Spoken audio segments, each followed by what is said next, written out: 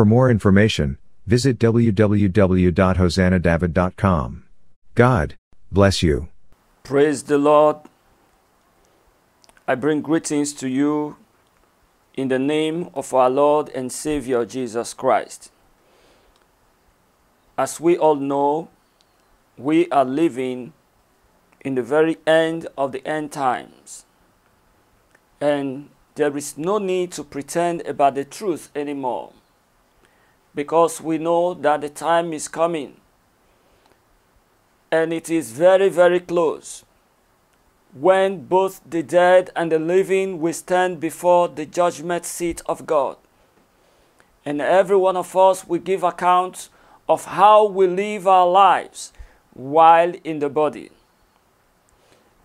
As we talk now, we are expecting the return of the Lord.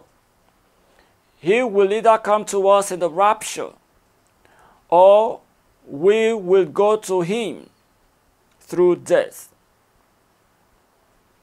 And there is no need to pretend anymore because there are lots of things that are happening today that we need to address as a church. There is no need, I say, to pretend anymore. When your house is on fire, there is no need to chase after rats, but you face the fight. You forget about whosoever that is watching you, and you make sure that you save your properties from getting raised down by the fire, and also make sure that there is no loss of lives. Now, as a body of Christ, I want to say categorically that our house is on fire. And we have to do everything that we can to make sure that we quench this fire. Because Jesus Christ is not coming for a dirty church. He is coming for a holy church. He is coming for a church that has been washed clean, a church that has been sanctified, a church that is ready to meet the Lord of hosts. Let us pray.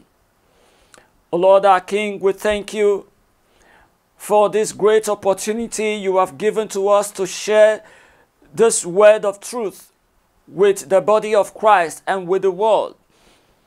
It is my prayer, Lord, that you speak through me to your children.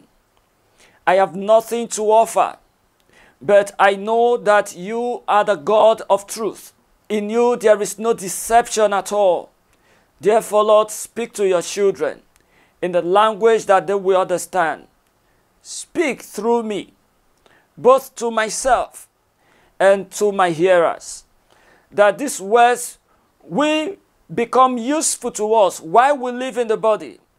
And on the last day, we will be told, Well done, good and faithful servant. May these words never be used against us on the last day. In Jesus' name we pray. Amen. The word we are going to look at today, the topic is Be ye holy. And we want to look at this holiness from the point of purity. And we want to address some issues in the body of Christ, I mean the church. I want us to read 1 Peter chapter 1 verse 14 to 16. As obedient children, not fashioning yourselves according to the former lust in your ignorance, but as he which had called you is holy, so be ye holy in all manner of conversation. Because, because it is written, Be ye holy, for I am holy. This is a call to the body of Christ that we should be holy, even as God Almighty is holy. I know a lot of people, when they tune their radio and a preacher introduces a topic like this, some of them will feel offended. Some of them will feel they are going to waste their time. Some of them will just conclude, oh, this is one of the holier than thou preacher. But I tell you the truth that it is only the truth that can set you free. It is when you know the truth and you are living in the truth and you receive a proclamation from a servant of God and you receive it with joy. That is when it can produce a miracle. But I tell you, if you pour water on a rock, it will never penetrate it. But if you grind the same rock into dust and you turn water on it, it will definitely penetrate it. So you have to make your life ready to be fertile enough. If your life is not fertile enough, it doesn't matter who prays for you. Any prayer that is rendered upon your life, if you are not ready to receive the blessings, it will never work in your life. Even if it works by faith or by God's mercy, it is not automatic. It is just by luck. Therefore, I encourage you to listen to this message wherever you're hearing the sound of my voice, whether on the radio or on the internet, or those of you that are listening right now.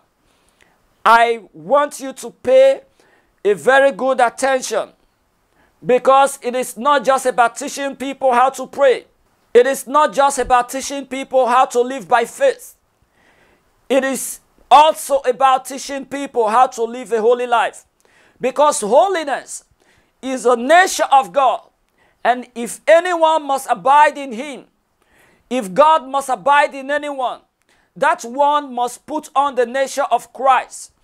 The Bible says in the passage we just read, 1 Peter chapter 1, verses 14 to 16, that but as he who hath called you is holy, so be ye holy. Because it is written, Be ye holy, for I am holy. Why God is asking us to live a holy life is because He Himself is holy. What is holiness? Holiness is a nature of God. It is pureness. It is wholesomeness. It is a life of righteousness. It is a life of purity.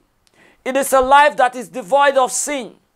I am not saying that living holy does not mean that you will not face temptation. I am not saying that the garment of righteousness will never be stained by sin at all. But when you have the nature of God in you, you will be conscious that you are living in a dirty world. You will be conscious that you are living in a world that is filled of different kind of colors of sin. And you will be conscious that Jesus Christ has given us a free garment of righteousness.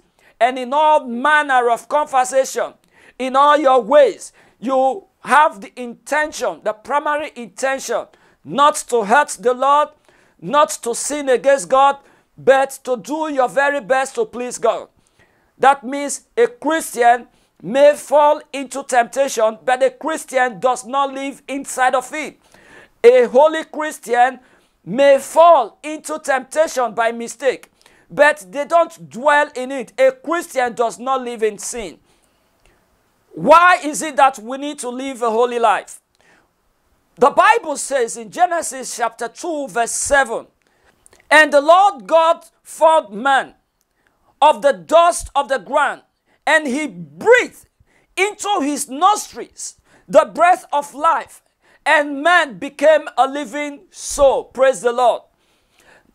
The number one reason we need to live a holy life, if we don't understand who we are, we will never be able to live according to the plan of our manufacturer.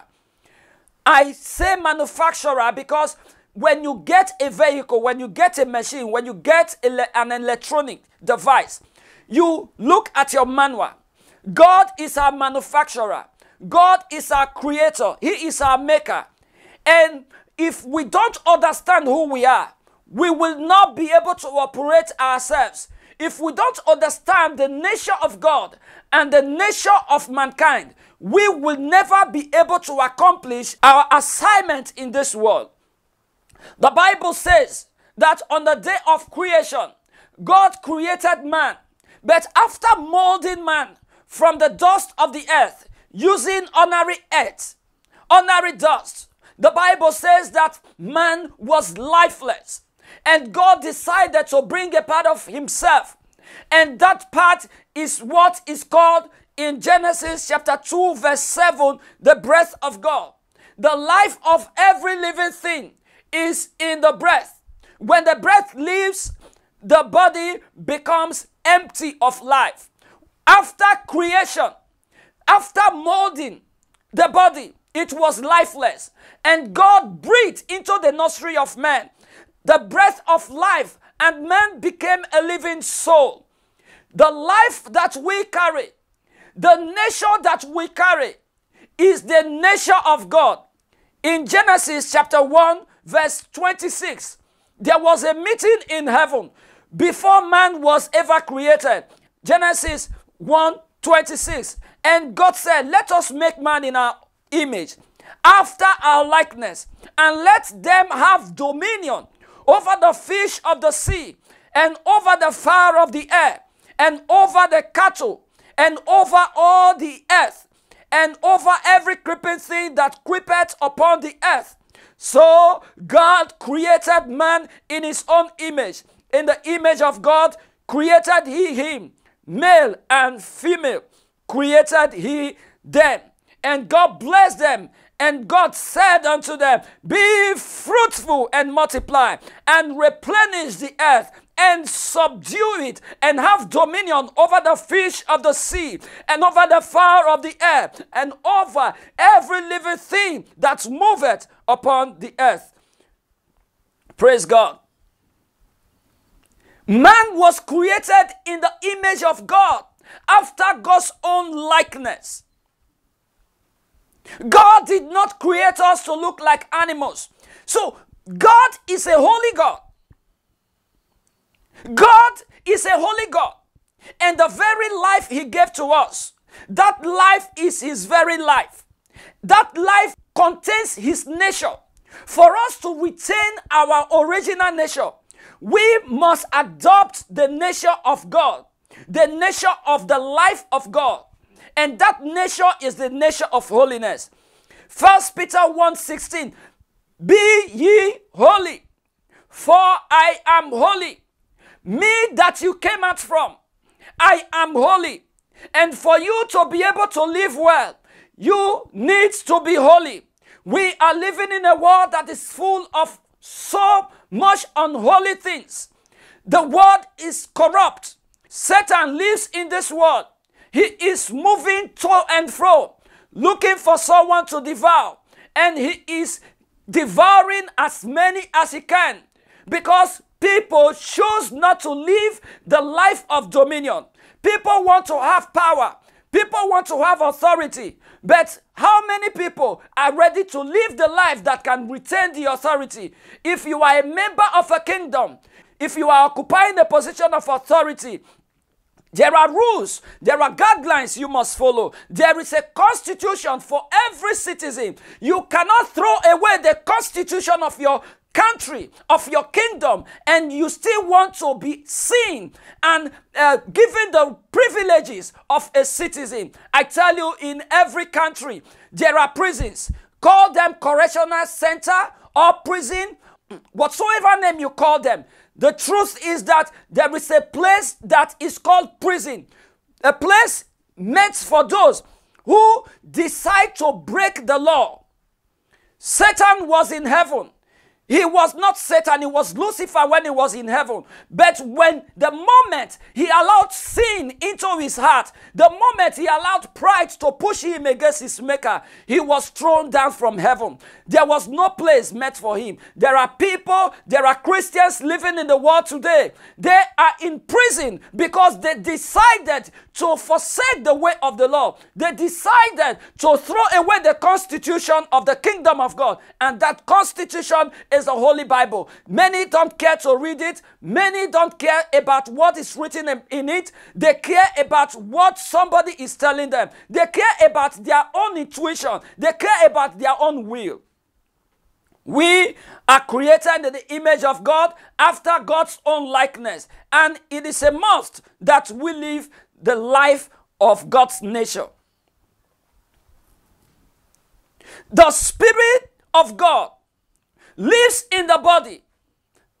I was leading a service on Sunday, and I said, when Jesus Christ came down to die for us, people could never imagine how great the cost of coming down from heaven is. And a lot of people today, they argue that Jesus can't be God.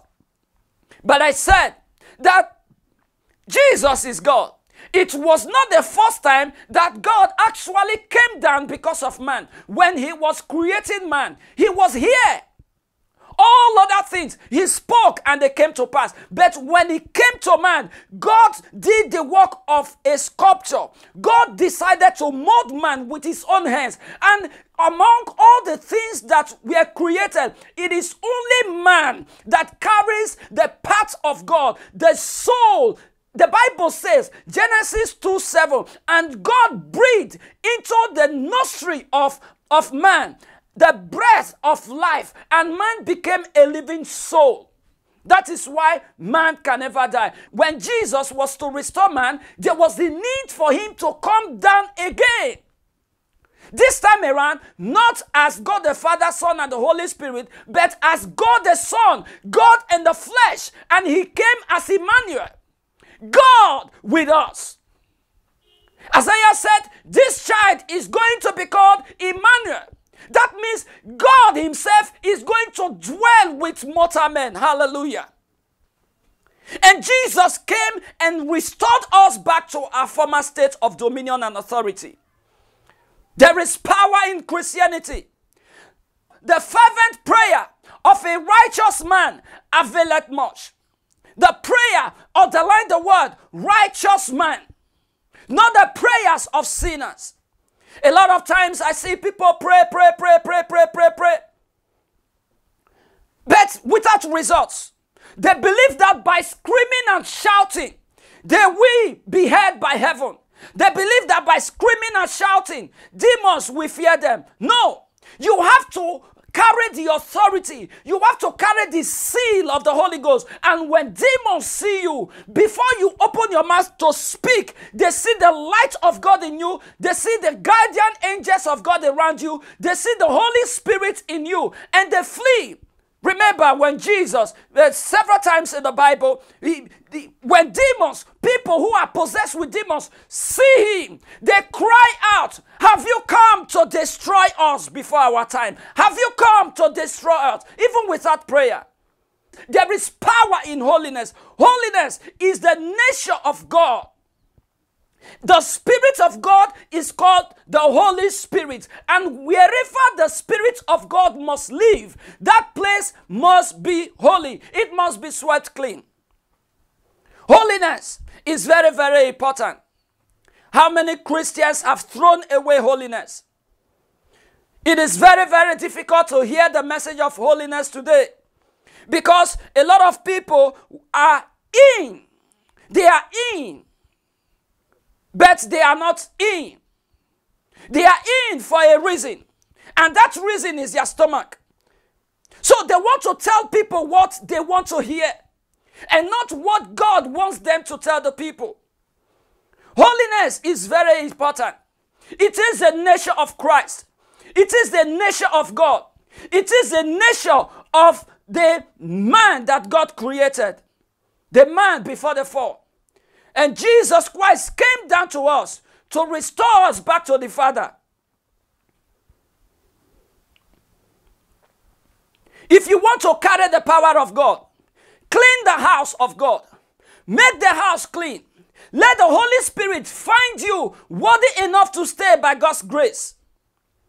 And when you can house Him, if you can house the Holy Spirit, I tell you, no demon will torment you, no power of darkness will come near your dwelling place. Holiness is not an option, it is a must. There are so many benefits of holiness right here in this world and after this world. The best one is after this world. The most important, and that is the access to heaven because nothing unclean shall by no means enter into it. In what aspect of our lives is God asking us to live a holy life? God is asking us to live holy life in everything we do. So be ye holy in all you do. First Peter 1:15. In all we do. In our thoughts, in our speech, in our action, in our dressing. If you become born again, your thoughts must be born again. Your actions must be born again. Your speech must be born again. Your way, manner of running your business must be born again. Your wardrobe must be born again. Everything around you, including the way you move, including the way you walk, the Holy Spirit becomes the one that is doing the leading and not you. I know it can really become challenging when you stay too long in the world and you come to know Christ. Your bad character may not vanish away overnight. But by the power of the Holy Ghost, by the grace of God, you continue to work on them. As you look at Jesus, the author and finisher of our faith, the perfect man, as you gaze on him, you become you you begin to transform. Your life begins to transform daily. And the, the reflection of the jesus you keep gazing your, your eyes on you become transformed to his image daily The early Christians, early followers of Christ, were called Christians because they were transformed and they were behaving like Christ. I said, I want to address the issue of purity. The issue of purity today. Our body is a temple of God.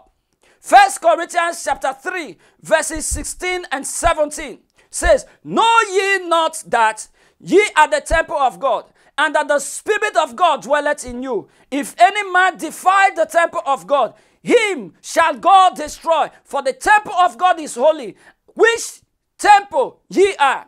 The temple of God is holy, and we are the temple of God. And this body, this temple, must be kept clean. The body, if, oh my God, if we know how much God treasures our body, if we know how much God has deposited in us, we will not live the life we live. We will not do some of the things we do.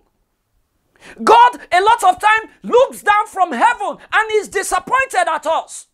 Oh, how can God Almighty choose to find our heart and our body a dwelling place, a selected place to dwell, and then we push him out because we don't want to change? Many of us are not ready to comply with the ways of this kingdom.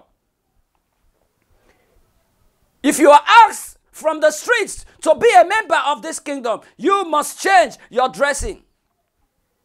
You must remove the garment of witchcraft. You must remove the garment of shams and concussions, the garment of, um, of mesmerizing people, using hypnosis to, dis- to destroy people and control people. You must throw away your fornication. You must throw away your life of stealing. You must throw away your life of destruction and put on the garment of righteousness.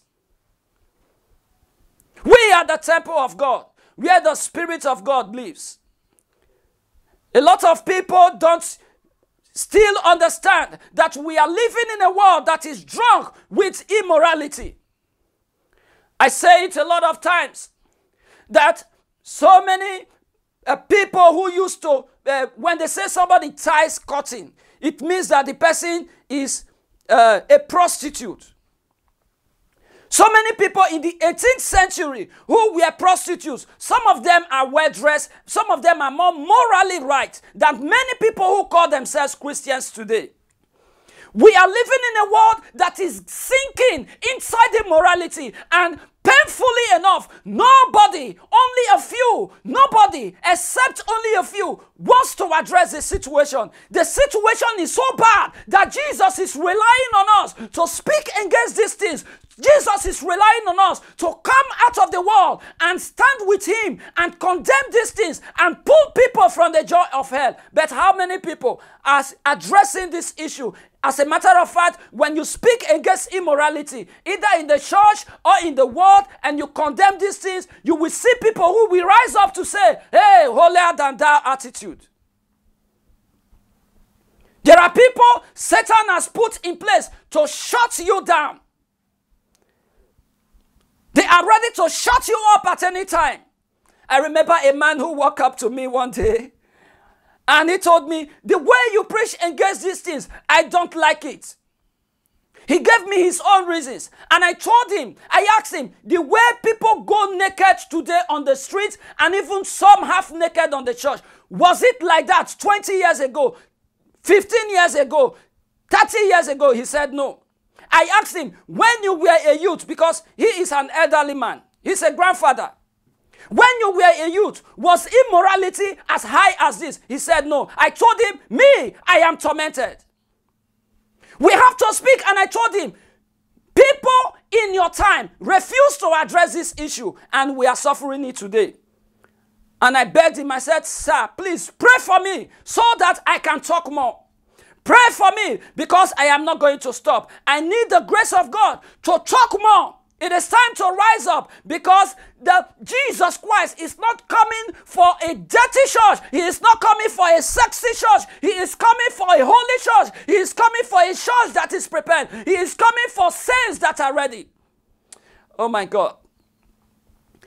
There are so many issues, so many issues. Today we see people, everybody wants to do white wedding and they cover the veil. Even some with pregnancy, they cover the veil. They, it is the height of immorality we have seen today. People with pregnancy wearing a veil. The veil means that you have not been uncovered. It means that nobody has seen what only your husband or your wife supposed to see. It means you are untouched, you are pure. The white represents purity. How many people are pure?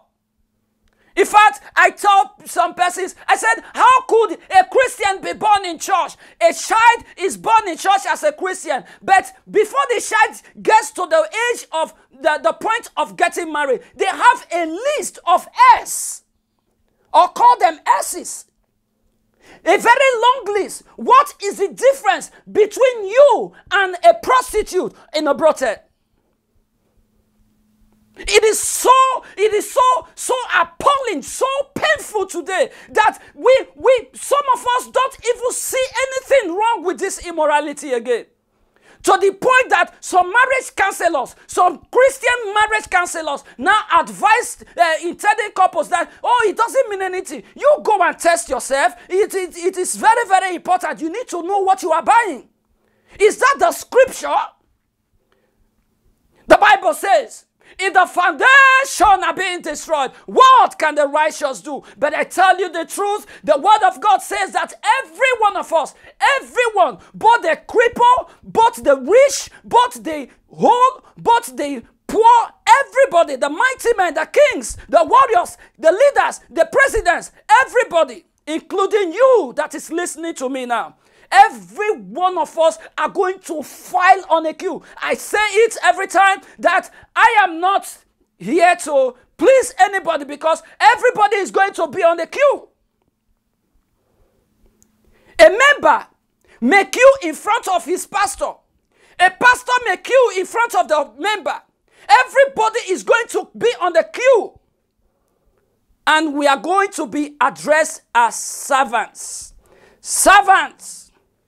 Every one of us are servants. There is need for us to be careful. The world has become so, so, so dirty, so, so attached to immorality that the, if, if it is not promoted by immorality, it, it does not sell. If a movie does not have a caption that it can provoke somebody's thought, then it will not move market. If the pictures on it that is selling a movie or a song, if it is not worldly, if it, if it, if it's not made of of immorality, it will not sell. And a lot of Christians are promoting this thing. We are in this world, but we are not of this world. We have a kingdom, and in all our ways, in all our doings, let us remember that we are passing through this world and that Jesus Christ is coming to receive us. Don't get carried away by what is happening today. How many people have complained to me that I went to church and my pastor's wife called me to order that, sister, the way you are dressing today, you are going to lose your husband. Oh my God. The things that we're supposed to speak against, the things that we're supposed to condemn, they are the things that some of us promote. There is difference between beauty. There is difference between attraction by beauty and being attracted to someone because the person looks sexually provocative. Every child of God should look beautiful. We should look neat. We should look smart. But a child of God must not go half naked. When Adam and Eve sinned against God, they hid themselves because they were naked. Today, people go naked and they go boldly before God and say, God, we are naked and we are not ashamed of our nakedness. Here we are. What can you do to us? If you are God, come down and give us fire. If you call yourself God, I tell you, God may not come down for you immediately, but He is waiting for you. He is waiting for me. I'm not stupid. I know that He is coming. I've seen it a lot of times. And it tells me, warn people, it doesn't matter how much they condemn you, it doesn't matter how much they hate you, warn them that I am coming for them. He is coming. God is coming for the church, and the judgment is going to begin with a household of faith. It is going to begin with us, and except we get ready, the Bible says, if the righteous man will scarcely be saved, where shall the ungodly, where shall the immoral, where shall the unserious? Oh my God. Where will they lift up their head? Where with those who say it doesn't matter anything, we are talking about a kingdom, an everlasting kingdom, and people are saying it doesn't matter. It doesn't matter. They can swing, they can swing on anything called rope. If you want to swing on something to cross a river of fire, and you don't want to test the truth first. You don't want to test the strength of the rope first. If you if it cuts and you fall into the fire, it's over for you. And a lot of people are very much ready to fall into the fire. I hear people say, Something must kill a man. A man must die one day. Anyhow, you die. Death is death. No, death is not death. My father in the Lord preached a message. He was talking about the grace to die. That don't die anyhow. I can't forget the message. He said there is a grace to die. It's not just a grace to live life, but the grace to die. There is a grace to die. Don't die anyhow. Don't die anyhow. I've seen videos of men who go to hotels with some people, even someone's wife, the, the recent one I saw, and the man died. And they say something must kill a man. If you want to die, die like a hero. If you want to die, die like a soldier of Jesus Christ. Don't die a shameful death. Heroes don't die. They cross the bridge to the other side. And their names and their deeds are immortalized forever. Heroes don't die. Don't die anyhow. There is a grace to die well. Die. And even when you are gone, your life will still be in the lives of people. Those you help, those you help to stand, those you brought into the kingdom, they will believe in. I, said that it is not good that people die and their memories vanishes away from the world. But when before you die, spread your lives in the lives of spread your very life in the lives of people so that even when you are gone, people are remembering you you. You, you, have your monuments. The people have their monuments in their hearts. Nations remember you. How many people can forget Nelson Mandela? Because this man spread his life in the lives of people. He stood for the truth. Even after his death, we saw the will that he willed some of his wealth to institutions. In Nigeria today, people die and we begin to recover loot for years. Abacha died many years ago. But we are still recovering his loot. And they are looting the loot. May God deliver us. Something must kill a man. When people even see that, oh, this person has diseases. They want to go in. May God deliver human beings. May God Almighty deliver those who are enslaved to sin. I have seen men abandoning their families because there is one somebody out there how can a man living in three bedroom flat with his family abscond with a lady and rent a, a one room apartment face me and face you and he will hang his trouser on a six inches nail and he is happy. So a, a small girl is rubbing your head and you are happy and your children are crying. You don't deserve to be a husband. You do not deserve to be a man. You do not deserve to be a father. You are a disgrace to fatherhood. Immorality has risen so high. People no longer care about what is right. We see over the news men impregnating their own children in the name of pleasure, in the name of Satan, push me. People say Satan push me. Satan push you? Where did you position yourself and allow Satan to push you? If you had remained in the presence of God, Satan will not break in to push you to commit that sin.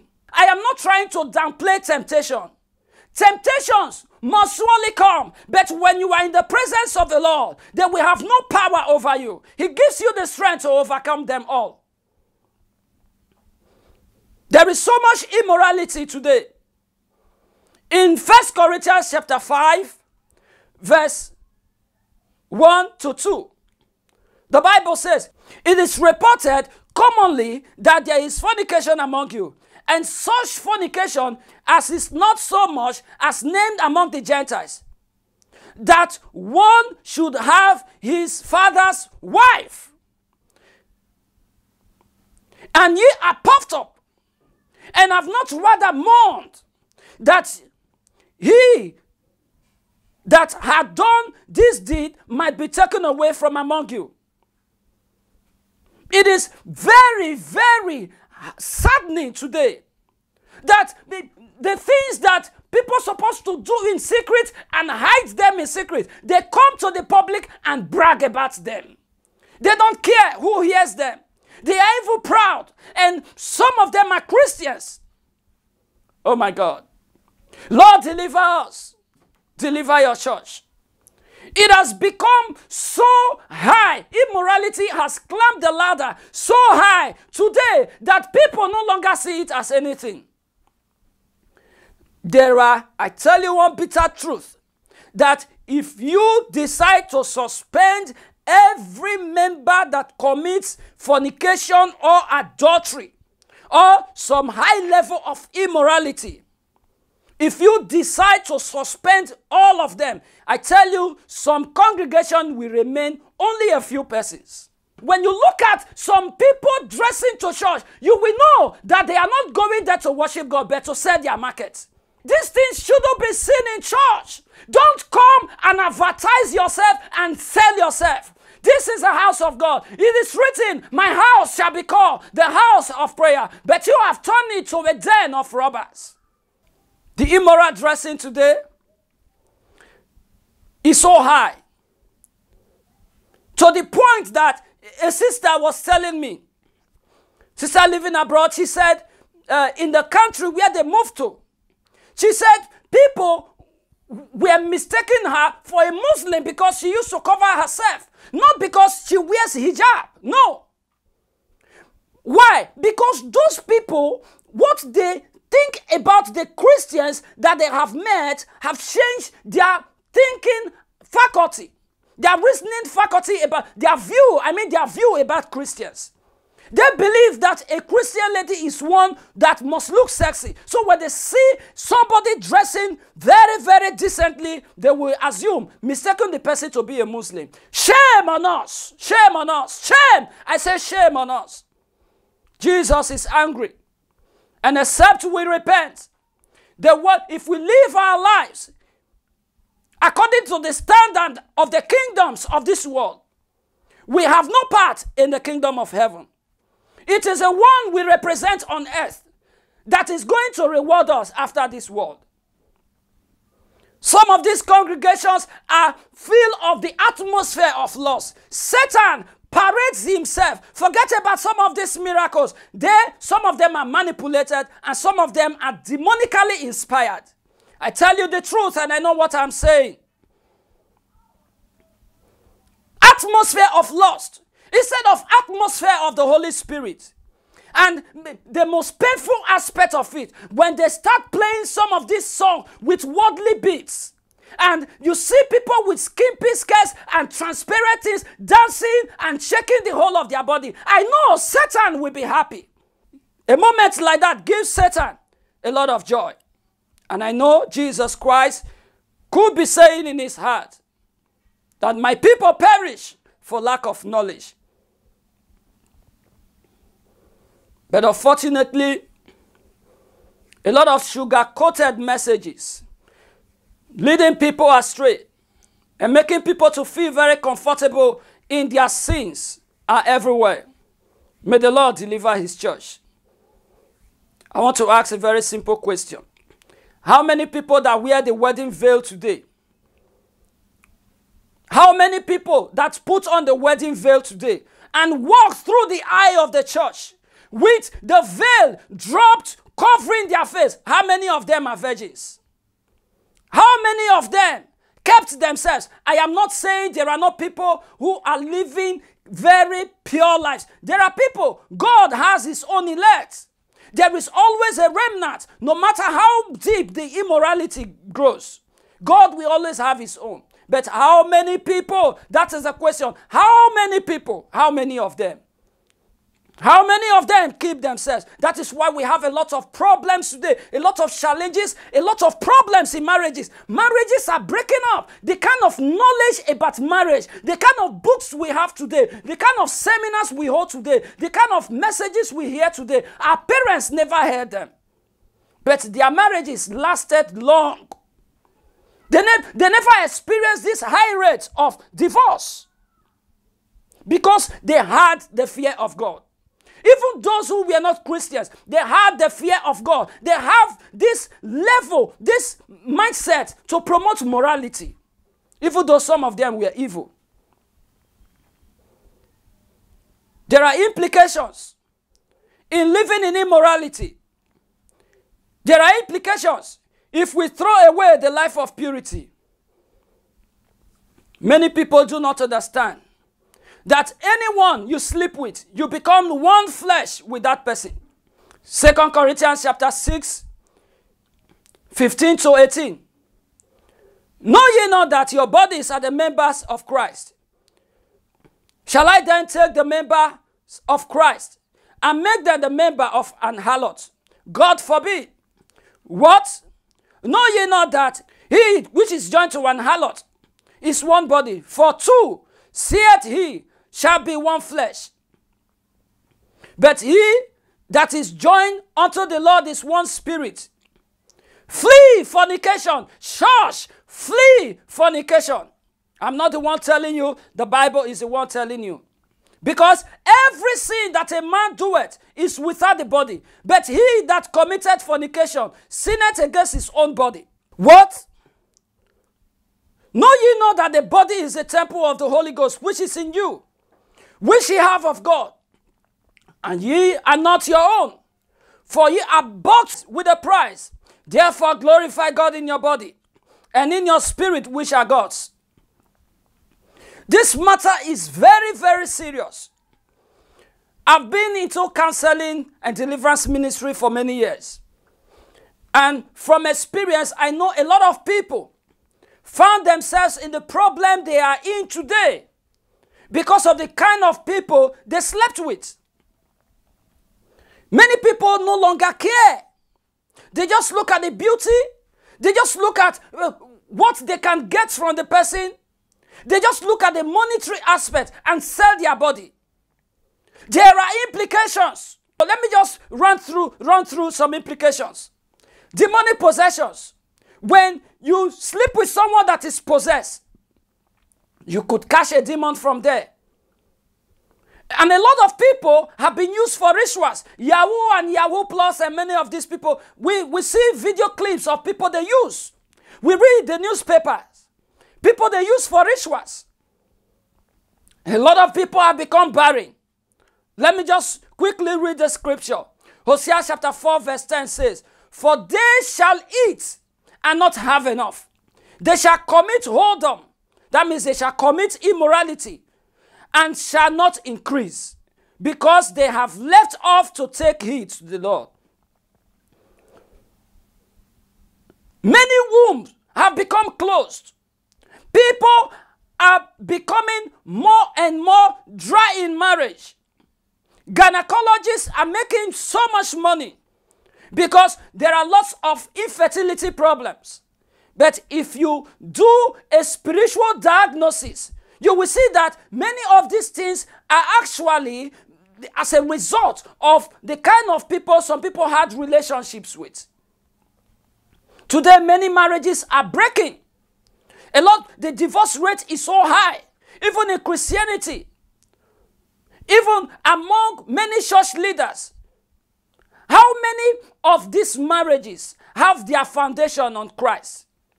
People want to build a relationship that your future generation is going to come out from. And you build the foundation. You lay the foundation on sexual immorality. And you think Jesus will be there except you repent and correct those mistakes.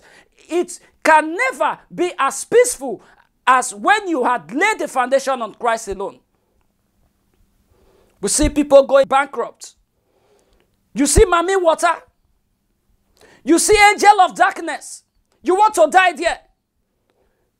Some people have become, have lost their jobs because of the kind of people they friend. We have to be careful as a church. Many people have granted access to the devil so that he can access the unborn generation. Let me just take a little time to explain. Many people do not actually understand that what comes out of you, please understand if you are an adult, whatsoever comes out of you when you have a relationship, when you meet, what comes out of you co- contains your DNA and the information of your generation are encoded, they are entwined in your DNA. Some people don't know where their problems come from. Let me tell you, a satanic agent can know the future of your generation through what comes out of you. Because the information that are contained in your DNA that your father passed on to you, that you want to pass on to the next generation, they are there. Even they can access the, the information of your future generation up to the fourth generation. When they couldn't kill Samson, they brought a woman, Delilah, and she succeeded. Church, let's be wise. Let us be wise. Me, I tell people, I've stopped praying anyhow. I can't be fasting and praying for you because you are in problem and in the night you are clubbing and you are with one satanic agent. No, I have stopped praying anyhow. In fact, a lot of times when I see people and I see where their problem is coming from, I only tell them, do this, do this, repent. I have stopped praying fire brigade service prayers. That when the fire is burning, fire brigade will come and quench the fire and go. No. People should be taught how to stay away from problem. You can't be having a relationship with somebody that is from the water kingdom and you are always disturbing your pastor every day. Pastor, pray for me. Oh. Pastor, pray for me. Oh. Wishes are oppressing me. Oh. Nothing is moving forward. The question is, how are you living your life? How? Why is it that these people have so much stronghold over your life? You don't, many people don't ask that question. Does not strike if you don't give him a foothold. He will never strike. If the angel of the Lord surrounds you, Psalm 34, verse 7, it's a scripture I love so much. It says, The angel of the Lord encampeth round about them that fear him and delivereth them. When you are in Christ, God will release his guardian angel to protect you.